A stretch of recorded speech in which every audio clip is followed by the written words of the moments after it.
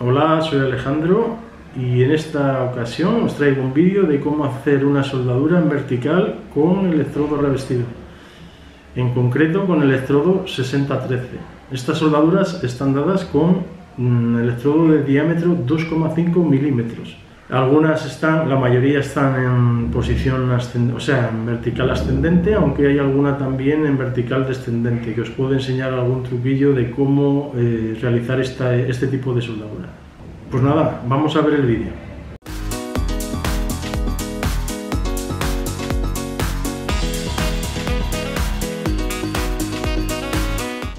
Deciros que en la soldadura vertical ascendente, además de los parámetros que ya os he venido enseñando en el canal, en primer lugar tendríamos que conocer cómo regular el amperaje, en segundo lugar tendríamos que saber cómo posicionar el electrodo con los ángulos correctos, os puedo decir que el ángulo de trabajo que estoy utilizando en el vídeo son 90 eh, grados con respecto a la chapa, 90 grados por cada lado del electrodo, y tenemos un ángulo de avance que al contrario que en, la posición horizontal que le llevábamos así inclinado hacia el avance 10 grados, ahora el avance va a, ser, va a ser hacia adelante, es decir, hacia arriba.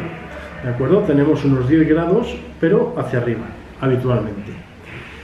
Después tendríamos que tener también la velocidad de avance, una velocidad de avance homogénea hacia arriba, como siempre, como siempre en todas las soldaduras ha de ser homogénea, y también tendríamos que tener una longitud del arco correcta. Como es un electrodo normal, tendríamos que tener, ya sabéis, el equivalente al diámetro del electrodo. Y si son 2 milímetros y medio, pues aproximadamente 2 milímetros. Tampoco lo vamos a medir. En este caso concreto os quiero comentar una cosa. Os quiero comentar que el electrodo evidentemente tenemos la punta del electrodo y cuando yo lo tengo inclinado la distancia que hay en la parte de abajo no es la misma que en la de arriba.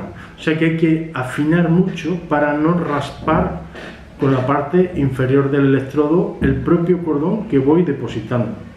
Una vez que sabemos los cuatro parámetros básicos de la soldadura en vertical,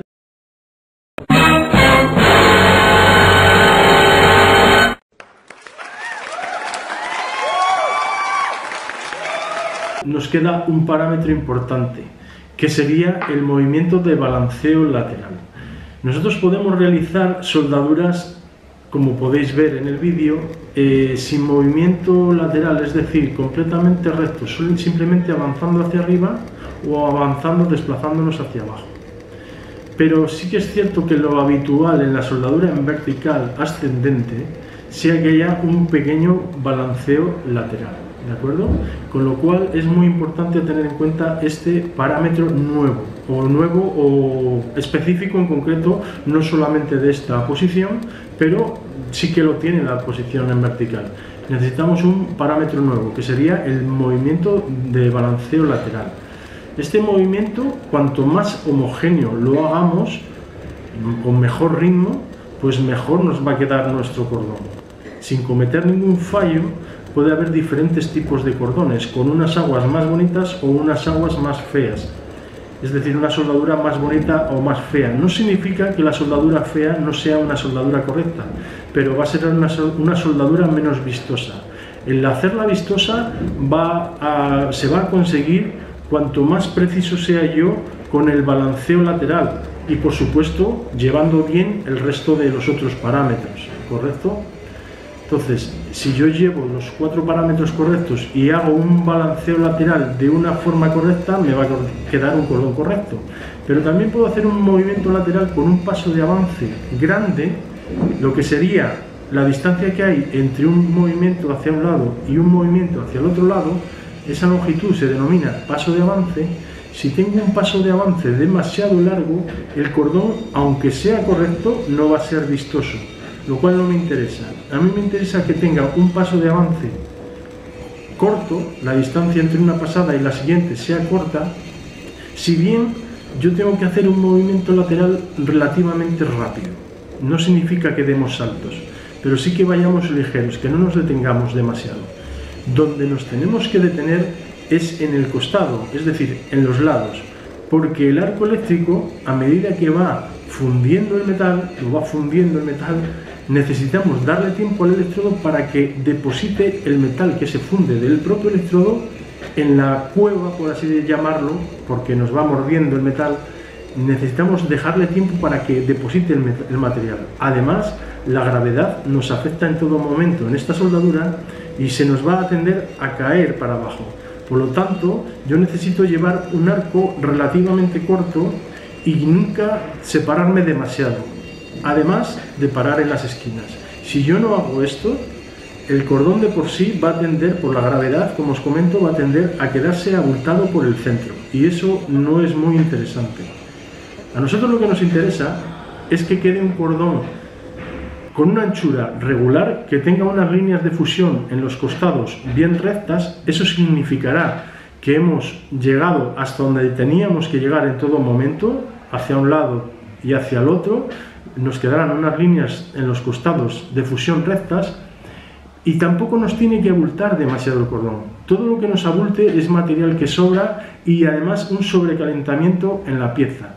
Nos interesa que el cordón no abulte más de 2-3 milímetros. En el momento que lo estamos abultando más de ahí, estamos sobrecalentando la pieza, estamos tardando mucho tiempo y también estamos desaprovechando el material. Estamos gastando electrodos de más para una soldadura.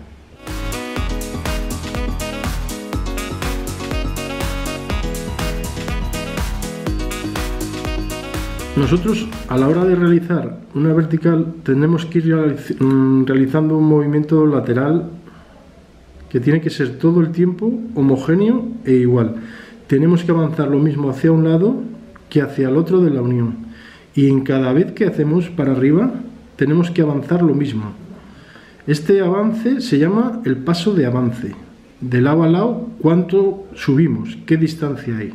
Por ejemplo, si nos quedamos prácticamente en la misma altura, estaríamos haciendo un paso de avance corto, mientras que si avanzamos mucho cada vez que vamos de lado a lado, estamos haciendo un paso de avance largo. Normalmente nos interesa hacer un paso de avance corto, pero, o bueno, corto o medio, pero no quedándonos demasiado tiempo, es decir, haciéndolo demasiado lento, sino hacer pasadas de lado a lado un poco ligeras, un poco rápidas y un paso de avance corto. Es decir, avanzar rápido de lado a lado y poco hacia arriba. Así nos quedarán unas aguas bastante bonitas, bastante homogéneas.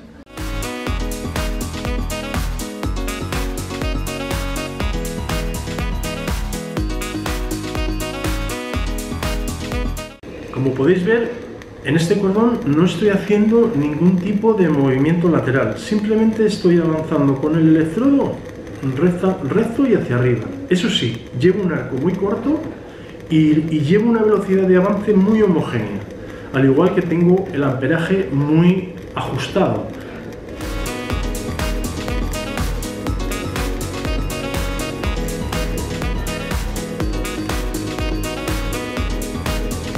El resultado pues es un cordón muy estrecho y no lo sé si lo podéis apreciar bien con la cámara, yo creo que sí, pero es un cordón un poco abultado. Yo no os lo recomiendo salvo en contadas ocasiones el hacer este tipo de, de soldadura.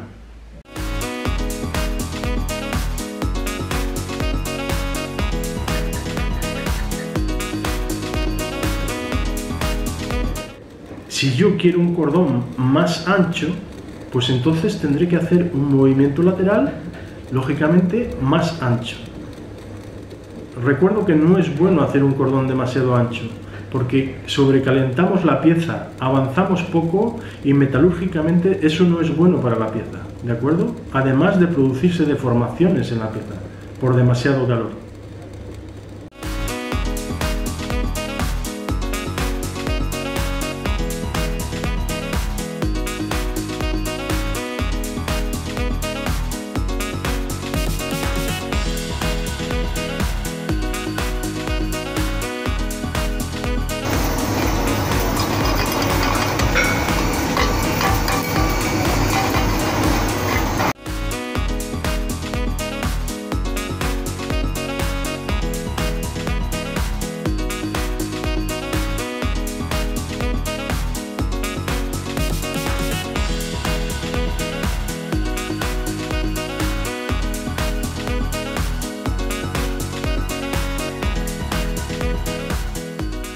En este caso, como veis, sí que estoy haciendo un pequeño movimiento lateral y estoy llevando muy bien los cuatro parámetros como el quinto parámetro que os comento que sería el balanceo lateral. Le estoy llevando muy homogéneo, bastante homogéneo. Es cierto que alguna vez se te puede ir algún movimiento, pero en general queda bastante homogéneo el movimiento.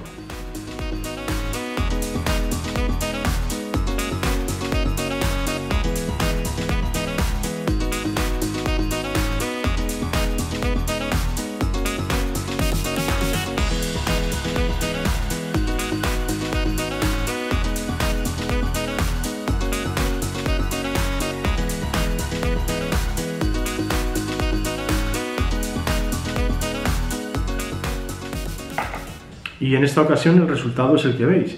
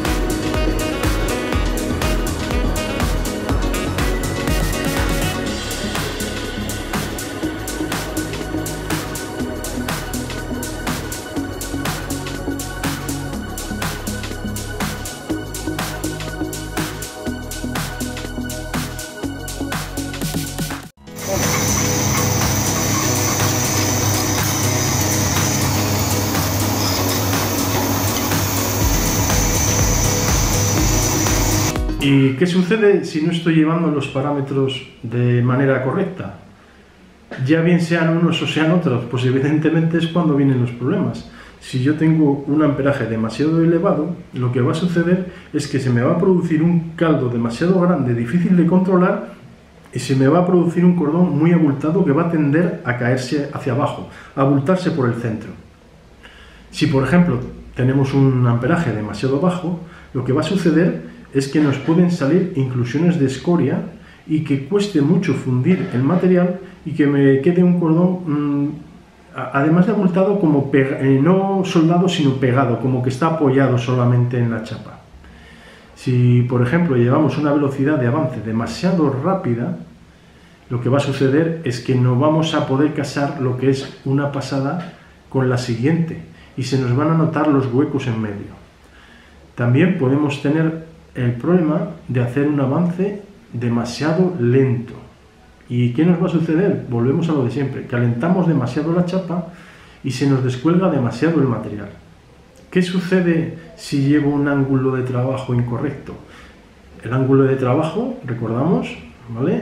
Pues como veis en el vídeo, estoy soldando apuntando demasiado hacia la izquierda y lo que sucede es que la mayor parte del metal que se va fundiendo se va a depositar en la parte izquierda de, la soldadura. Nos va a quedar un cordón asimétrico. No, perdón, asimétrico no, nada asimétrico. Nos va a quedar más abultado por la izquierda, lo cual no es interesante.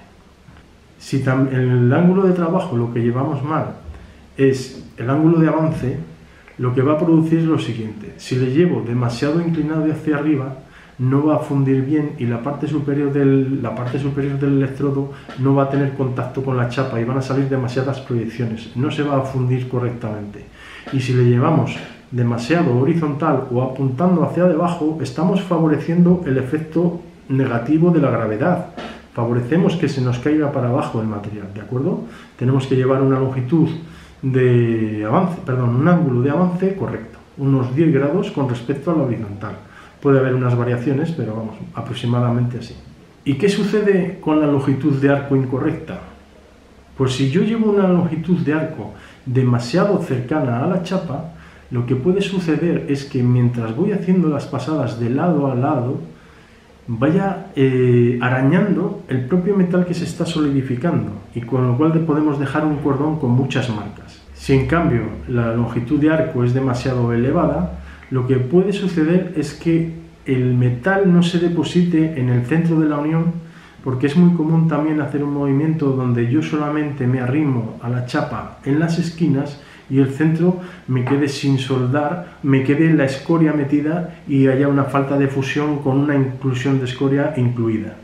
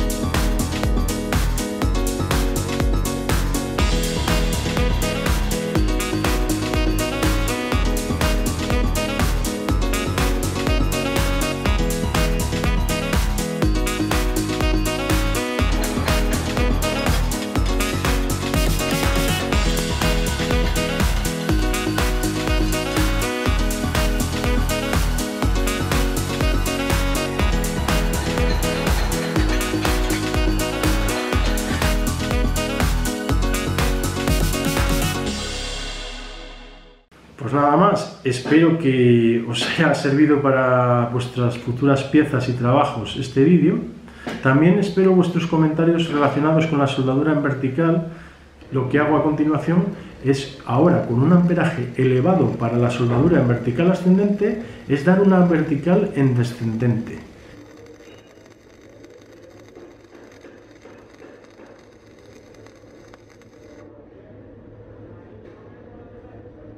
Y el resultado es el que veis. Parece una soldadura muy vistosa, pero con este electrodo no es conveniente soldar en esta posición, o sea, es decir, en descendente, salvo que sean en chapas finas, en espesores finos, porque es una soldadura, la soldadura en vertical descendente, con el electrodo 6013 tiene muy poca penetración, hace un agarre muy flojo, con lo cual, salvo que estéis soldando en espesores de 1 milímetro o 2 milímetros, Non se interesa soldar en descendente. Nos interesa soldar en vertical ascendente.